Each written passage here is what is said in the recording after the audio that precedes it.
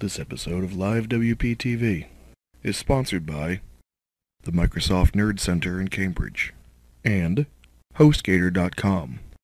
So here we are, how to make your website a traffic magnet.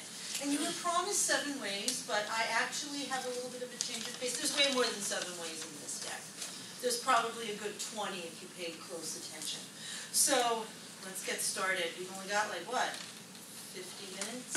So we need to get cracking on this. So everybody's really trying to get leads.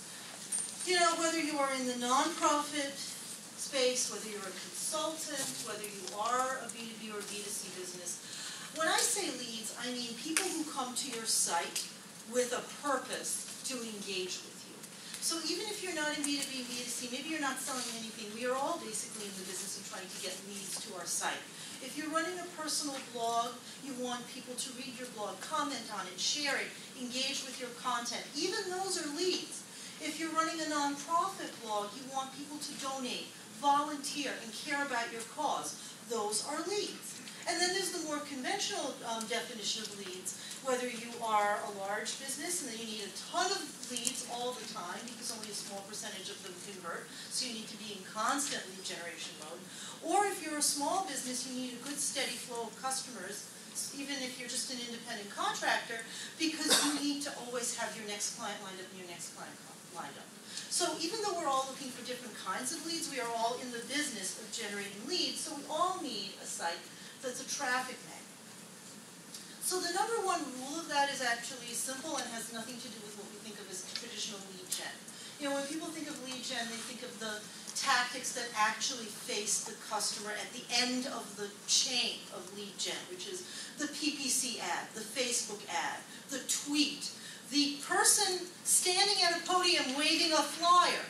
That's the last thing that you should think of when you start thinking about making your website a traffic magnet. The first thing you need to think about is your website itself and is it designed for users because you can drive all the people to your site that you want and I've seen this happen with company after company. If your site isn't designed for conversions, you are going to lose all of those leads. And people will spend a ton of money on PPC, on social media advertising, and they'll wonder why they're still not getting any leads. And you look at their site, and it's like six screens of text, nine points. That's why they're not getting any leads.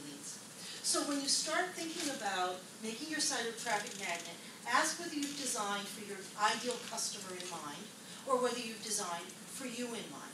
And really think about this because most of the time when we start our own business or a group of us start a business or even in large corporate environments, people design to say what they want to get off their chest versus answer people's questions. And the lead gen conversation the conversation by which a person randomly browsing the internet and Googling and clicking on a PPC ad or seeing a tweet or seeing a Facebook post and becoming a lead is a conversation where you answer somebody's question as to why they should engage with you. So start from your website and making it user friendly. Okay, but now what about the tactics? How do you actually start generating? My first principle that I tell everybody is A-B test everything. Hands up everybody who's doing social media. Hands up everybody who's doing PPC ads. Blogging? Any other kind of advertising, display, banners, people waving flyers from podiums? Not too many. Um, hands up email marketing. Wow, everybody who didn't raise your hand, think long and hard about what you're doing. Every single one of those things, the number one mistake I see people doing when they try to do lead generation is they throw a message out there. It goes back to slide one. And it says what they want to get off their chest or what they want to say about their product. And it doesn't say what necessarily is going to turn people into a lead. It doesn't answer their questions. And you can have as many focus groups as you want. You can ask your cousin. You can stare at an ad for as long as you want.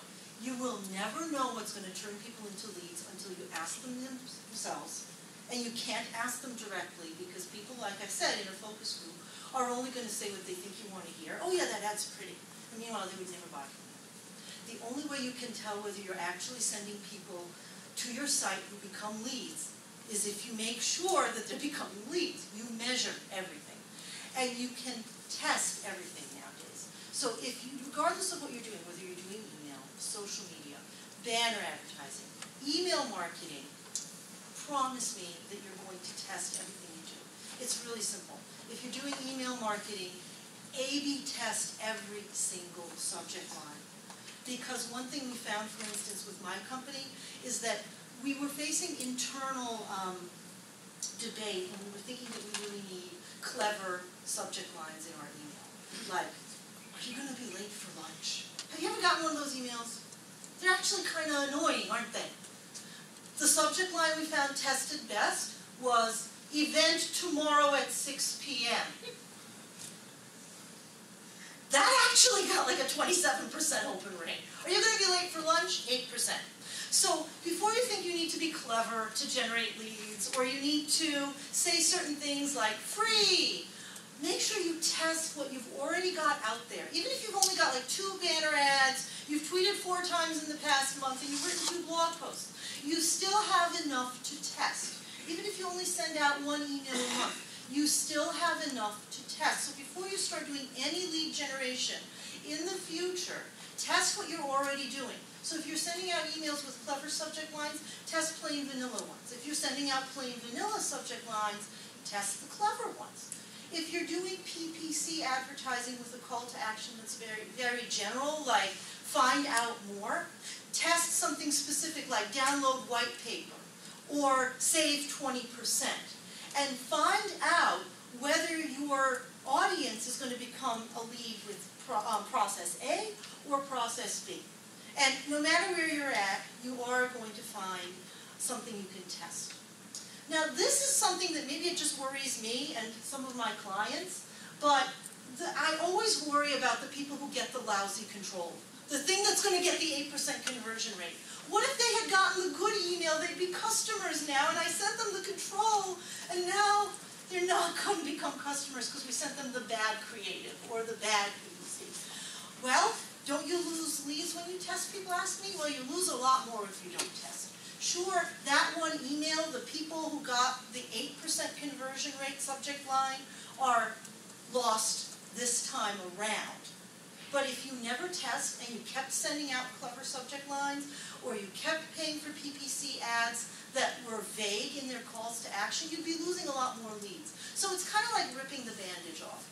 You're going to have to put out two pieces of creative for every lead generation effort you made, often for weeks, maybe months on end, and yes, you're losing some traffic because some people are getting the control that's not going to test as well.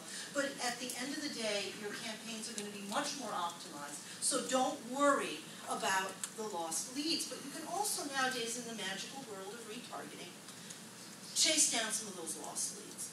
So First of all, when you're A-B testing anything or multivariate testing anything, set your certainty level to the lowest you're comfortable with. You know, is everyone familiar with statistics and um, margin of error?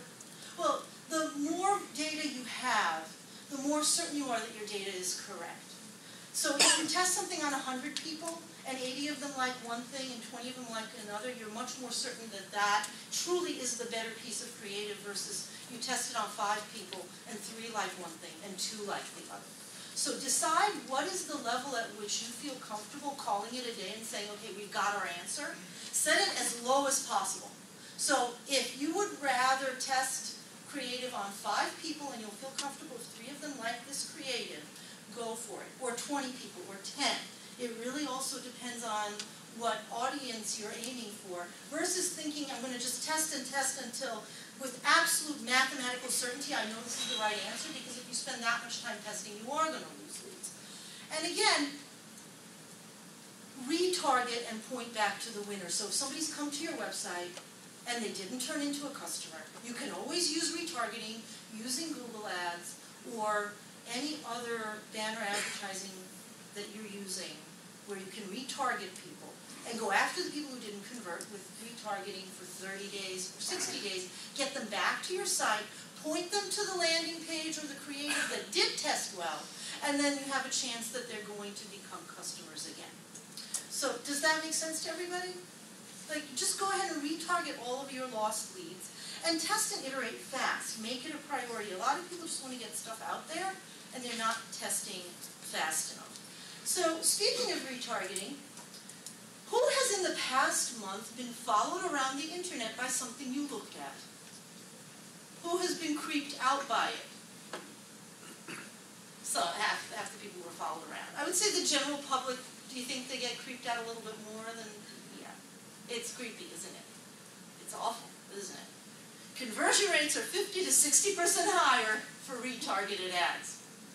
That means that even though everybody is completely creeped out by it, according to CMO.com, recent research says that the CTR actually for display ads in general is now down to 0.07%. The CTR for retargeted ads is 0.7%, which is still an order of magnitude greater. And even people who don't like retargeting, which is the general public, as we believe as marketers, people are 50 to 60% higher in their likelihood to convert if they've been retargeted. That means yes. Have you seen any research about on the B2B space, separate from the whole world together? You know, Anecdotally, I have, and I would say that it's even higher in the B2B space because your average B2B buyer is a little bit more sophisticated of, about retargeting and more tolerant of it. I think we get more creeped out by being followed around by a bar of soap than by CRM software. You know, it just feels less intrusive. So anecdotally, I'm seeing retargeting, and even in the education space, retargeted ads are converting very highly. So I, I think that even though we feel that it's making people uncomfortable, people are still clicking and they're, they're still converting. And after about 15 years in the digital marketing space, I can tell you that what works one year, people will start to become immune to the next year. So there was a time, for those of you who are still in college, this may seem utterly incredible, when people clicked on banner ads. I know! Isn't that incredible? People clicked on banner ads. Why? because they had never seen one before. Some of them clicked on it by accident because they didn't know what they were clicking on. Others clicked on it because it was genuinely useful content that they hadn't learned to be blind to. My experience has been for every digital channel that we start to see great conversion rates for, and it's working fantastic, after four years it will be completely dead or completely changed. I don't think that Twitter's going to be completely dead in four years. I honestly don't think Facebook's going to be completely dead in four years, but the way people engage with it is going to change. So if retargeting is working now, and people are clicking on retargeted ads, run retargeted ads. And the data is telling you that people are clicking on retargeted ads. So go for it. So who here obsessively stares at your Google Analytics? Please. Well, Melanie, I'm glad you are. So if you're putting lead information, lead generation out there of any kind, information for your leads to click on to make them convert, and you're not looking at your Google Analytics within 24 hours of anything hitting, and then again in another day, and then again in another day until the campaign is done, you are wasting your money.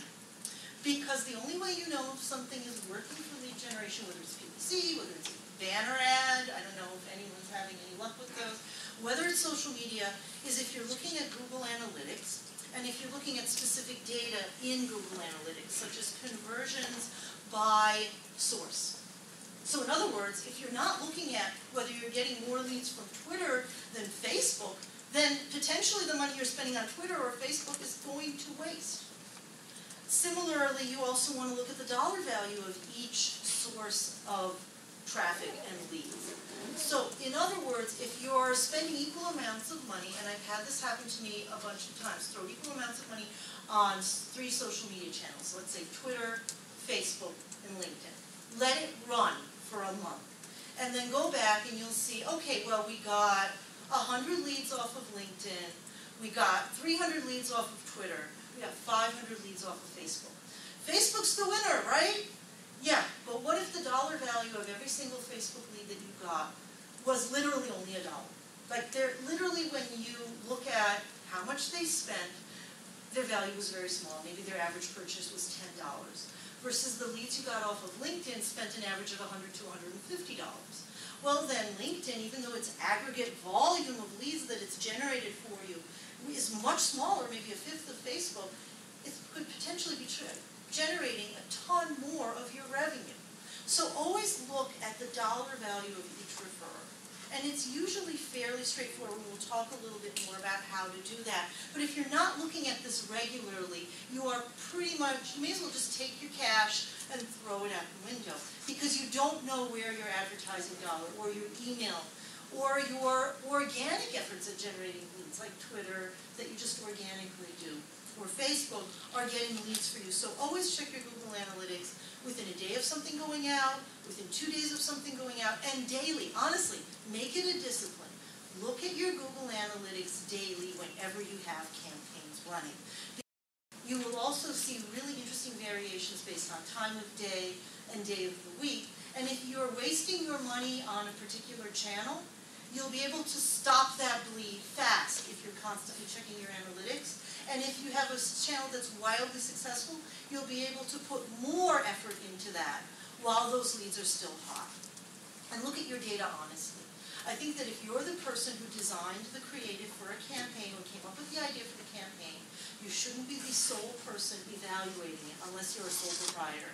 Even then, try to get a friend who's also a sole proprietor or hire an intern or somebody to look at that data because numbers don't lie, but we're very good at lying to ourselves. And I know from personal experience, I've seen people and even done it myself. You write an ad, you think it's marvelous, it's fantastic, you're madly in love with it, and like four people clicked on it. And you just were so proud of that ad because it was so cleverly designed and it has references to your favorite movie and you just can't let it go because you are too close to the creative that went out. So if you're doing a lead generation campaign, always get a second pair of eyes to look at your Google Analytics because it's the only way to ensure basically data integrity. Also, take a look at conversion paths that people are engaging in in your Google Analytics. So has everyone looked at the conversion paths in your analytics? How about the traffic flows through your site? You looked at that? Isn't it awesome? Yeah, it's pretty cool, as the gentleman in the corner said. You can look at not only where people land on your site in Google Analytics, but you can look at how they then flow through the site. So let's say people come to your home page, they tend to drop off after three pages. People come to one of your landing pages that talks about the value of your product, and they will then go look at six pages, including four specific product pages. You'll be able to tell that and trace it back to the lead gen effort, whether it was email, whether it was Twitter, whether it was an ad. Yes, sir lot about Google Analytics. Mm-hmm. Um, what about, and I may be very, I'm just like sort of a new uh, entrepreneur here. Okay. What about uh, Jetpack uh, Analytics, like the uh, stats from Jetpack when you're putting in your WordPress sites? Do you know anything about that? Is that still as valid as Google? It's, I, I don't want to knock Jetpack Analytics, it's great. Um, I talk about Google Analytics because it's, it's a lot more powerful. And it integrates with PPC, like with Google AdWords. So if you're doing Google AdWords, you have to have an analytics account and have to be looking at it because that's how you're going to get the true data. Jetpack's not going to have that tight an integration and you're not going to have as good data. So um, I really think if you're doing PPC and we're talking about lead gen, you've got to be looking at your Google Analytics. So the other question that people come to me with when they're doing lead gen, especially whether they're clients or whether they're people asking for information, is we just want to generate a bunch of leads and have people buy from us. We don't want to waste our time doing content. You're not going to get any leads. Seriously, you're not going to get any leads. When was the last time you trusted an advertisement? Have you ever trusted, raise your hand, has anyone trusted an ad? Have you ever driven down the highway and seen a billboard and said, yes, that billboard that an honest billboard. I will do what it tells me to do. No, no, you've never done that. It raises awareness. I mean, I'm not saying that don't do billboards and don't wave flyers from podiums because it certainly wave, generates awareness, but you notice that even on the flyer, I've got content. You have to explain yourself to people. We don't live in a world where people do business because you have a clever ad or a great, you know, flyer on the side of the road. When I say you have to do content, I mean you have to have blogs, you have to have in-depth product descriptions on your website, you have to do video or webinars, you don't have to do it all.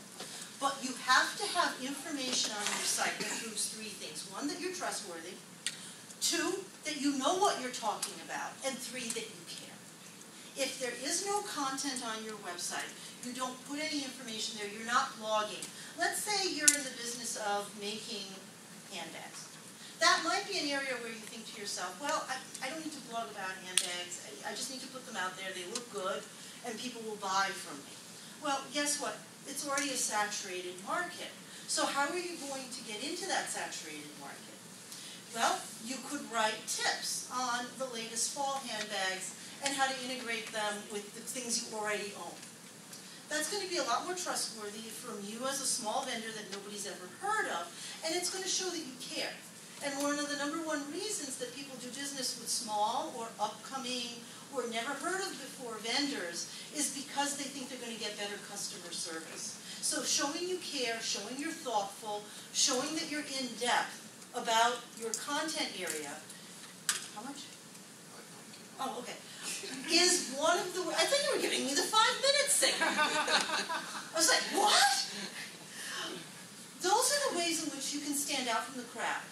And even that's even the case of say B B2C in some consumer product. But let's say you are a nonprofit, like somebody I just spoke to this evening in the networking um, part of the session. Well, think about that. There's only a limited amount of dollars, both grant money or donations. There's a limited number of volunteer hours out there that people are willing to give up their time.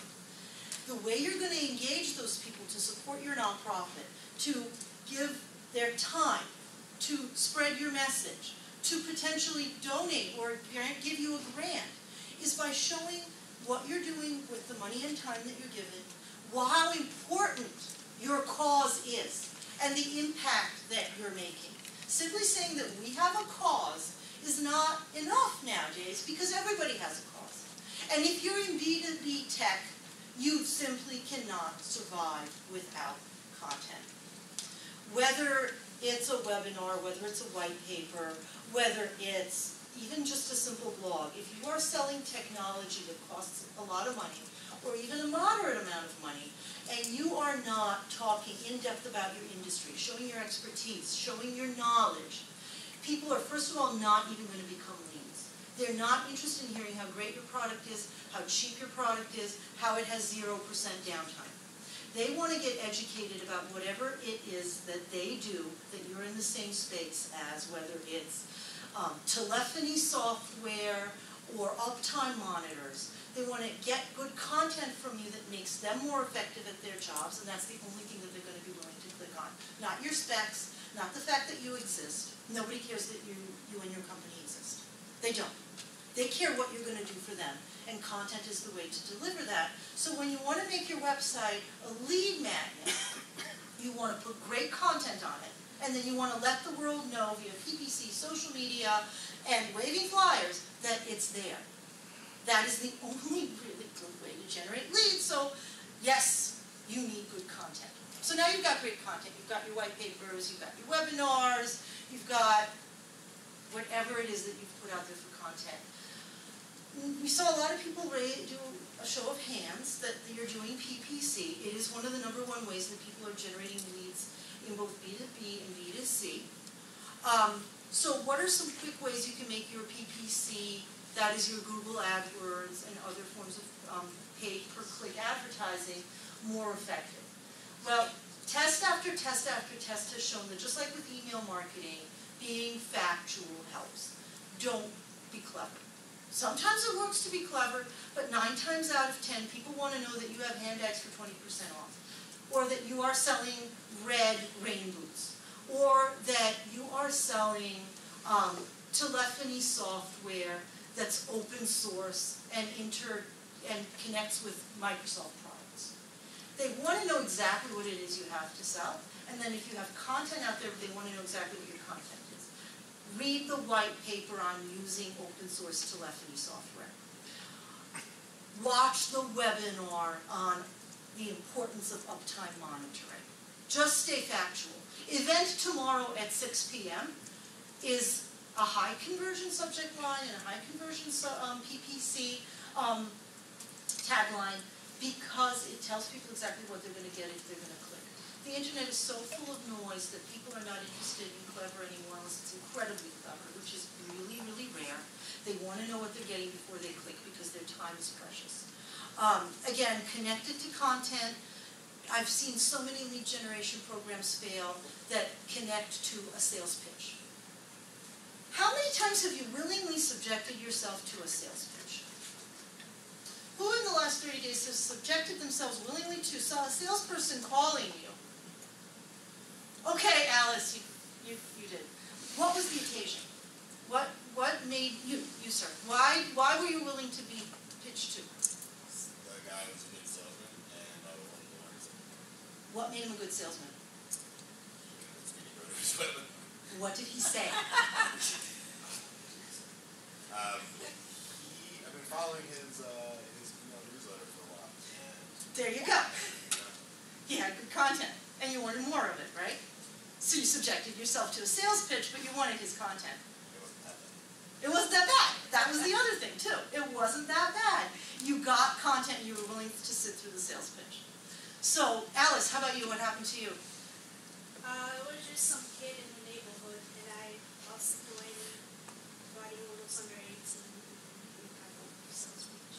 Well, that's different. I wish we could all hire cute little Boy Scouts and Girl Scouts. I mean, you buy my enterprise. He was smart. Exactly. But, but, you know, but, um, I learned a lot, but, uh, but I sat through because, you know, was, fifteen otherwise I'll probably.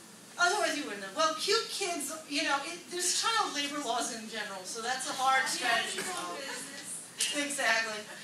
But the one person who did subject themselves, this gentleman up at the front to a sales pitch, they wanted content. The worst, the number one mistake people make in, in turning their website into a lead magnet is putting out a PPC ad or an email campaign saying, fill out this form and someone will contact you to learn your needs. We live in dread of somebody contacting us to learn our needs. Whenever someone contacts me to learn my needs, I hang up. Politely, but I do. I mean, don't ever ask people to give you their contact information so that you can learn their needs. You should know their needs in their minds before you ever get into any kind of conversation with them. That's where the content comes in. That guy had information that met your needs. So he didn't need to talk to you to learn your needs. He was already pushing the content out to you that met your needs. So don't do a lead gen campaign where you just push the leads to sales and have them. Those are not going to convert. Most people are not even going to fill out that form. Very few people are desperate enough for your specific product that they're going to fill out and have sales contact you form, and generally, they've already been exposed to a lot of content when they do that. And again, be very specific. Has anybody um, experimented with keyword additions in their PPC? I don't see any hands coming. Oh, you.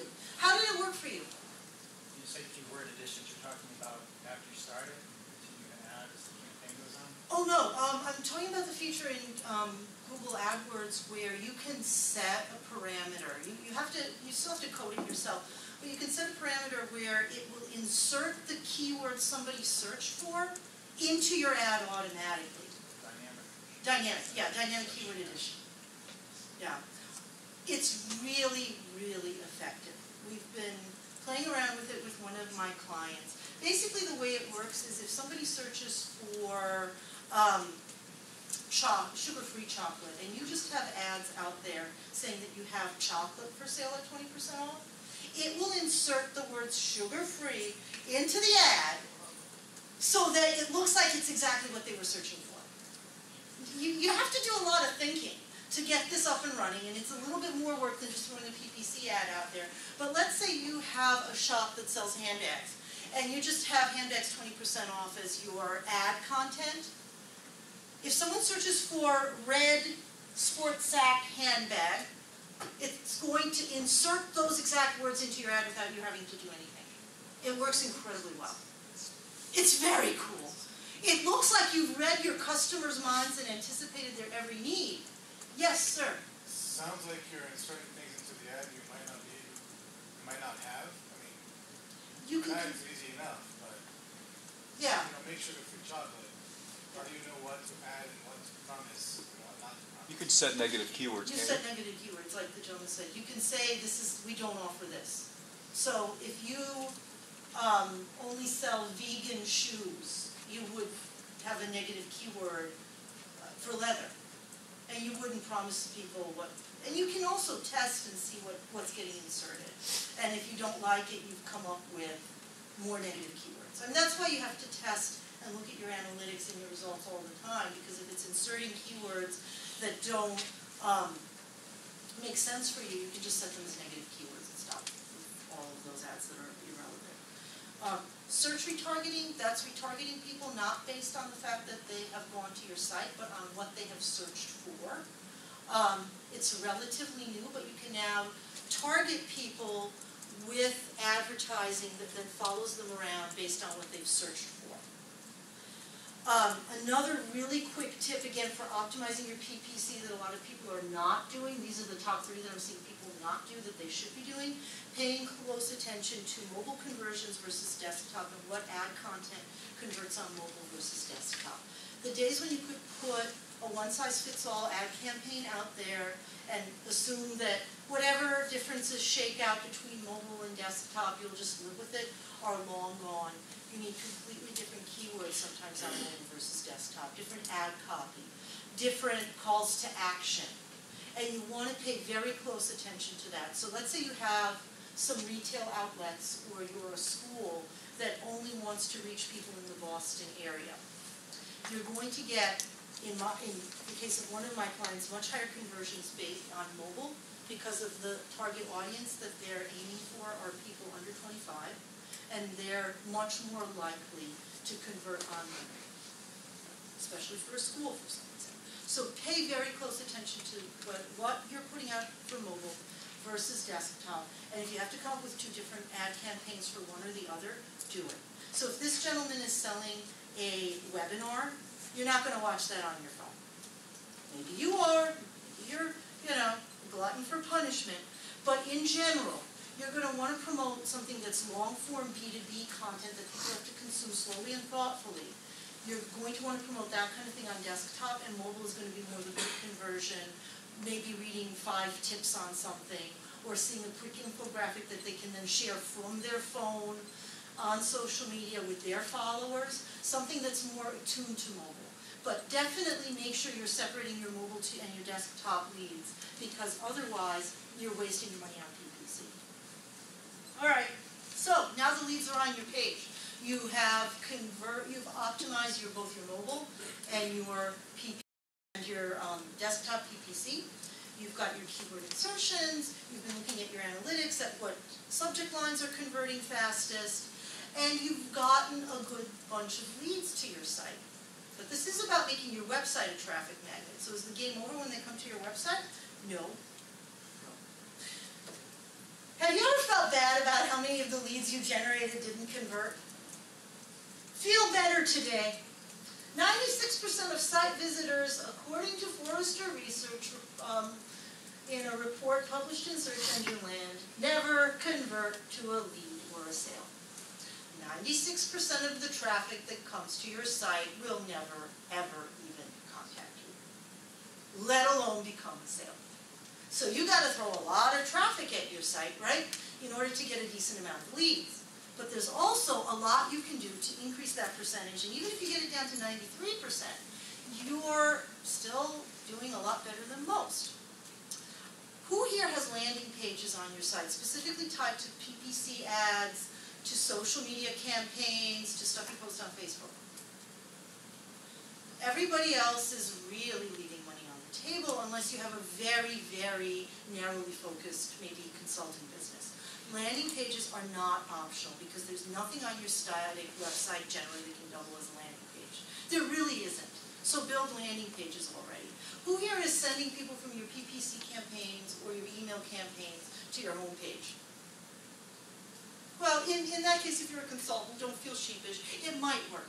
So where else are you sending people from your campaigns to on your site? The checkout Anybody? page, Pardon? the checkout page, The checkout page? So you're sending people to the, or buy me.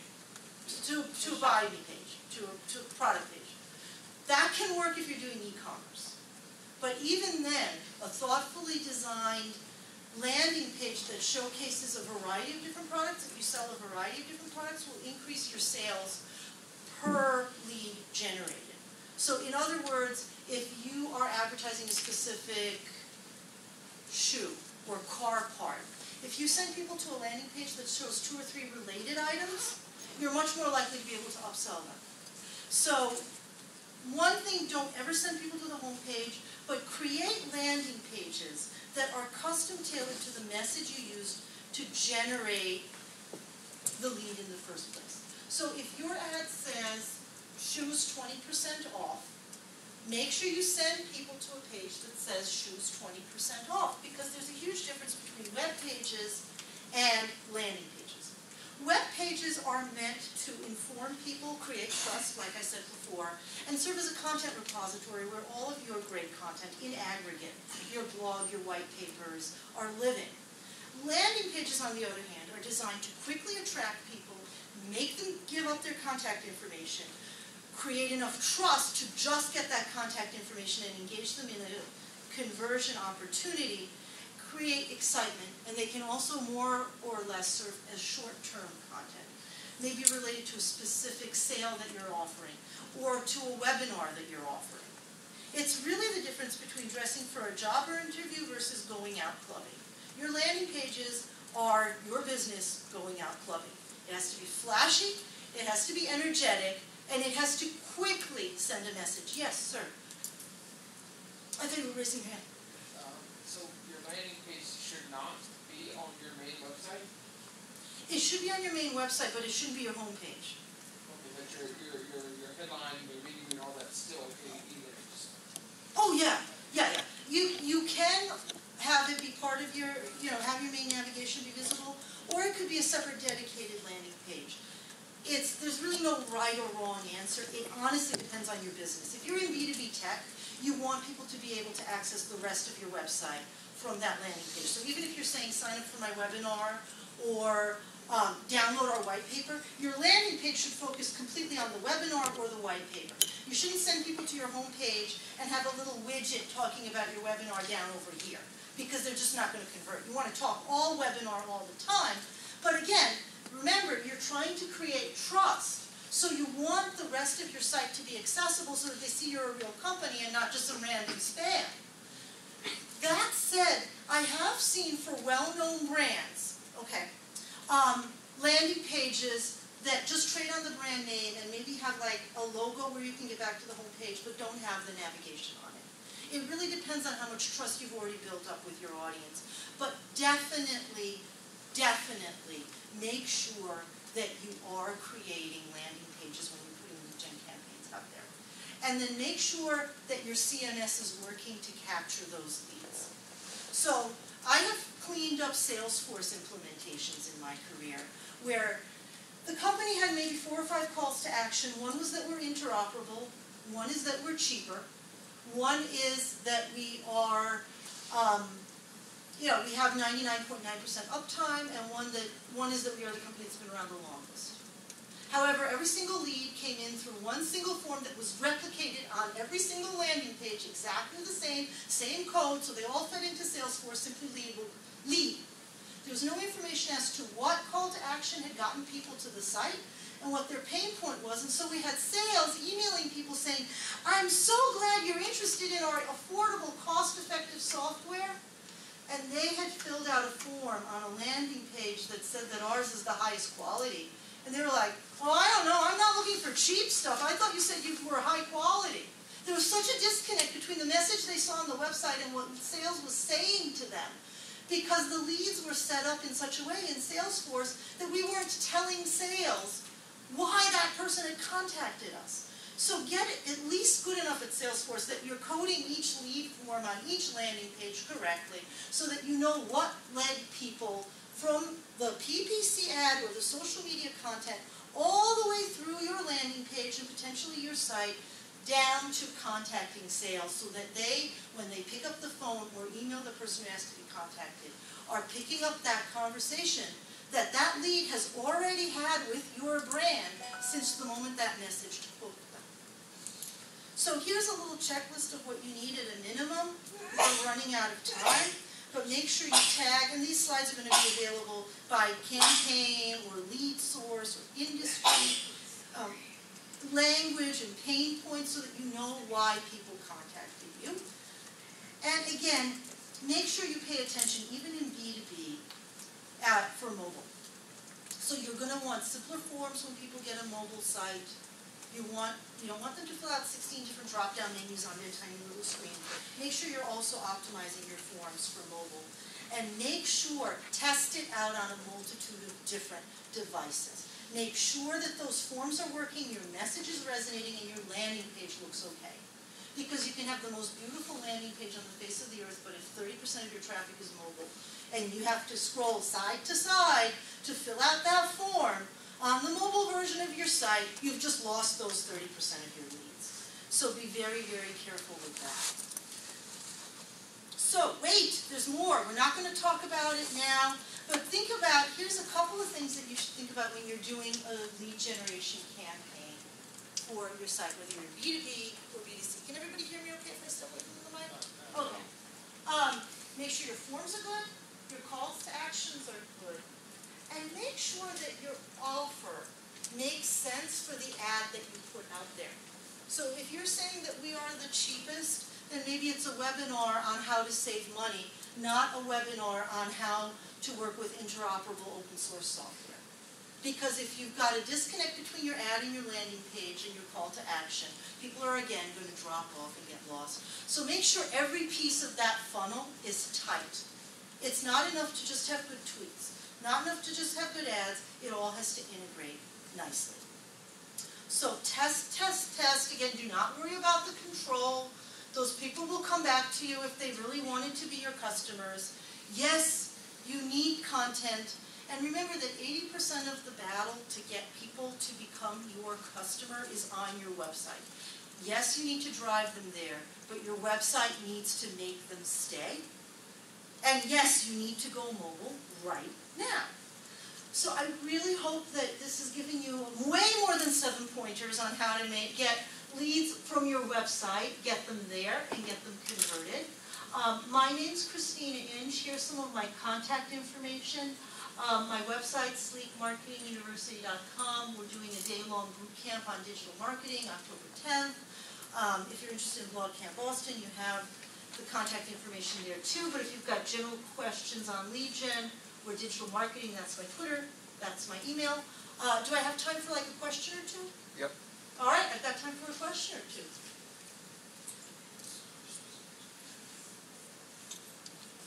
Really? I've answered all of your questions? Okay. Uh, what have you found has been the most effective avenue? Like Google, social, Facebook, LinkedIn, Twitter? It's like asking what's the best food. For what?